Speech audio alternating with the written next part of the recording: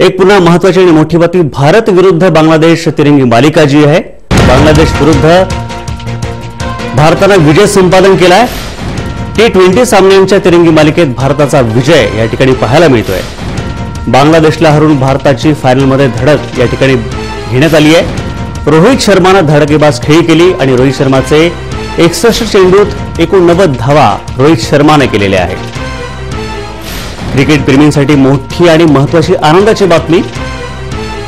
रोहित शर्मानं धडाकेबाज खेळी करत एकसष्ट चेंडूत एकोणनव्वद धावा काढल्यात. त्यामुळे